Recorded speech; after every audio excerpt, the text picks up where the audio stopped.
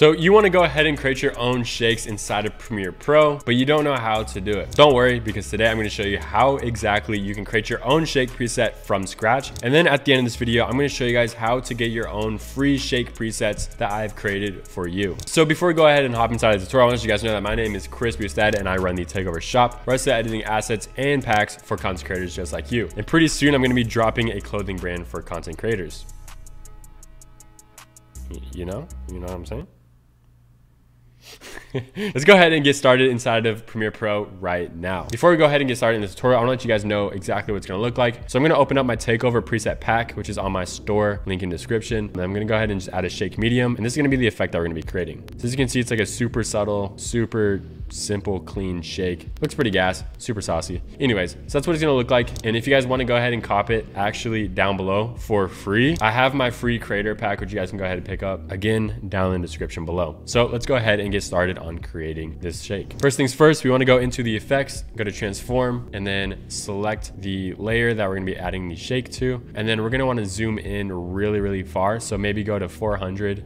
That's a little too far. Sorry. We'll go maybe 150, maybe even 100. Yeah, 100. And then we want to go ahead and just go to the transform tools, go to position, and then we will just animate the position. Yo, real quick before we continue with the tutorial, I want to let you guys know that the Ultimate Solo Creator Bundle is out now. And hands down, this is the best product that I've made. I've spent the last year and a half creating this preset pack, so that way I don't have to keep doing repetitive tasks. And through this kit, I was actually able to optimize my workflow. So now I don't spend hours and hours each and every single day editing content. Like now editing is just a simple drag and drop process. And like, I genuinely mean that. I use these presets each and every single day and they're actually pretty gas. So if you want to be able to edit like me and plenty of other dope creators online, go ahead, check it out down below in the description. And let's get right back to the video. The way you animate the position is of course hitting the clock or adding this little keyframe thing right here. We're gonna go every five frames, making a new mark in position. So that way we can go ahead and create our shakes. So one, two, three, four, five. Go ahead, just move it down move it over like so. And we're gonna go another five. One, two, three, four, five.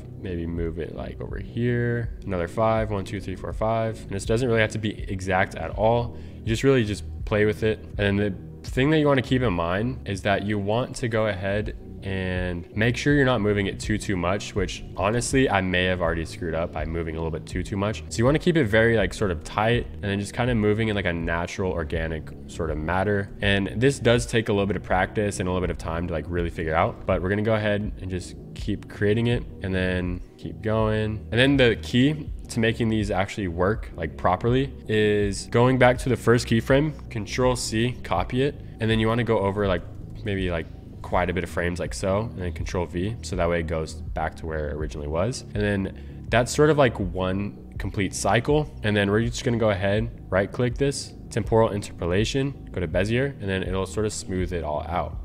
So let's go ahead and watch and see what we got so far. Okay, so as you guys can see, it looks horrendous, right? And that's because I actually went ahead and did it way too far apart. So I'm actually gonna delete all the keyframes and then retry it again. And then we'll see if we can't get a good shake the second time around. So again, honestly, this is very helpful to watch. So that way you guys know exactly how to do it yourself. I'm still no pro at it at all. I'm gonna try zooming into 400 and see if that will help us get more of what we're looking for. So we're gonna go one, two, three, four, five, six, seven, eight, nine, 10. We're honestly just gonna go 10 for keyframes. Move this like boom, bada boom. And then one, two, three, four, five, six, seven, eight, nine, 10. One, two, three, four, five, six, seven, eight, nine, 10. Again, move this over. And the thing with like shakes is you kind of want to make it like a little like rocking motion. So almost like a figure eight, but um, obviously not exactly like one. Kind of just want to like go with the flow a little bit. See if you can find something that like works pretty good. So go ahead and just try that. And we'll go ahead and bring it back over here. It's like so, just super subtle. Three, four, five, six, seven, nine, 10. We're actually gonna go a little bit more. And then we're gonna control C, control V, the first keyframe. And then we're gonna go ahead and temporal, Bezier, and we're gonna watch and see how it looks. Okay, we're definitely getting there. So the biggest key to like making it look a lot better is zooming in, making really small adjustments, and then maybe even just playing with like the keyframe spacing. So let's try that, see if that sort of helps us out. And honestly, shakes, they just take a long time to really, really figure out. So you just gotta keep playing with it and then figure out what looks good. Okay, so it's a little bit snappy right up in here. So maybe let's go ahead and just space it out a bit more, just like so. Let's play it back. Okay. Let me go back, try auto Bezier, that might help. There we go. Okay, so honestly, I'm liking like the tail end of this, but I'm not liking this movement. So let me go ahead and continue playing around with this. Go back to 400. And as you guys can see, if you zoom in, you can see this little path. You guys probably can't see it too, too well, but you really want to play with like these handles and just make it really, really smooth, like a very like smooth motion, just like so. And I'm gonna I'm gonna continue working on this. Um, feel free to watch.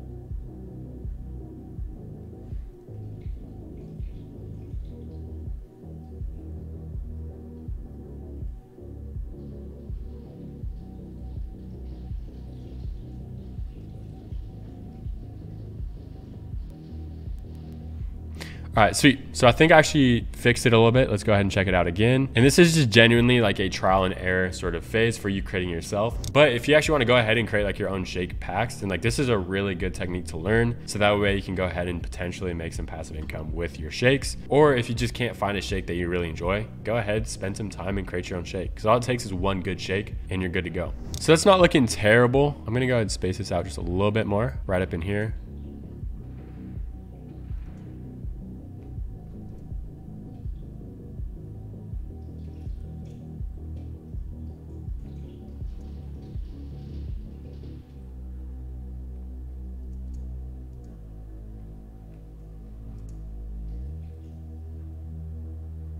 Sick. Okay, goes a little too fast right there. Space this all out real quick.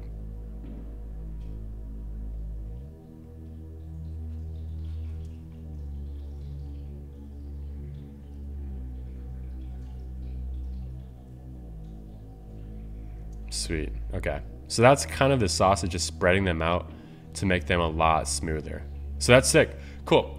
So now that you actually have like your first cycle done of shake, just go ahead and let's save this as a preset so that way you could add your own shake presets. So the way you do it is you just right click on the transform tool, go to save preset, and then do like name it like whatever your name. So like editor, shake, we'll do slow, whatever. Just honestly name it whatever. So there's two ways you could actually do this. You could scale your presets so that way if you have a short clip, the shake's really, really fast. Or if you have a long clip, the shake will be very slow and the keyframes will be spread out. Or you can anchor it to the endpoint, which that's something that I recommend doing so that way you can maintain the same speed of like the specific shake so it doesn't look odd at different speeds. So I'm go ahead and anchor to endpoint and then we're gonna go ahead and just control C, copy this. We're gonna delete the shake just to show you that the preset does work. So we're gonna go ahead, editor, shake slow, drag and drop it. And then you're gonna see like it's anchored to the endpoint, but then like it stops after a bit. So the way you actually fix that is just control C,